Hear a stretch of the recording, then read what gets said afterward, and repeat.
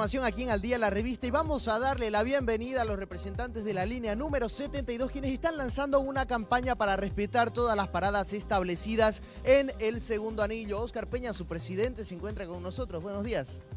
Gracias Edmundo. De verdad que estamos aquí felices en Bolivisión, en tu programa Al Día la revista.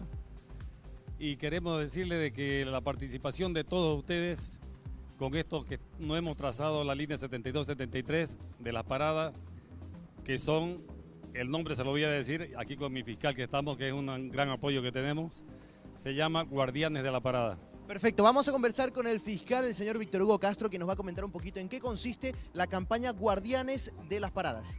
Muy buenos días, muchas gracias.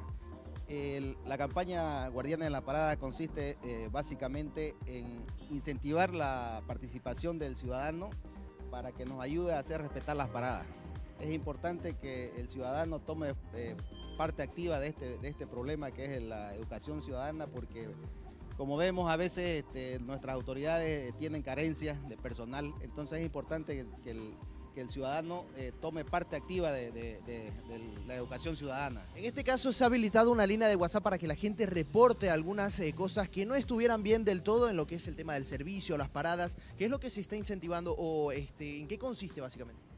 Sí, nosotros tenemos una línea de WhatsApp que es el 741-84-170, donde todos nuestros usuarios y la población en general puede mandar imágenes, videos de todo lo que está sucediendo en la ruta.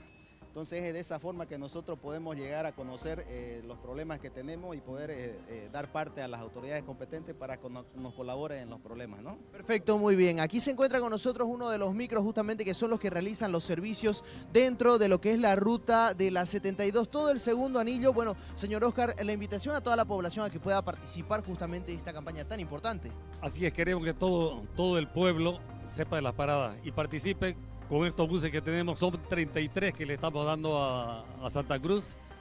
Pensamos terminar todo lo, con nuestro proyecto, 80 buses. Tenemos una, una relación de decirle de, bus a bus. De un minuto tenemos la secuencia de, de cada bus que andarían en todo lo que es el segundo anillo. Perfecto, muy bien. Para quien reporte, ojo con esto, para quien reporte algunas de las anomalías o algunos de los malestares que tengan en la ruta, eh, la línea 72 le, estaba, eh, le estará realizando algunos obsequios también para las personas que los colaboren, ¿verdad? Así es, correcto.